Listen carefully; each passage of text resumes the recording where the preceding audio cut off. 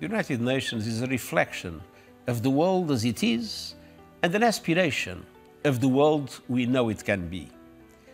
It is our responsibility to help build that world of peace, sustainable development, and human rights for all. I know we can do it. The Charter of the United Nations, which entered into force 78 years ago today, points the way. Above all, it is rooted in a spirit of determination to heal divisions, repair relations, and build peace.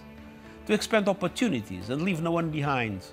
To ensure justice, equality, and empowerment for women and girls. To provide life saving relief to those in need.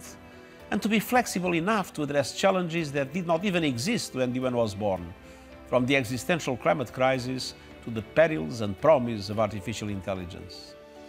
The United Nations is guided by timeless values and principles, but it must never be frozen in time.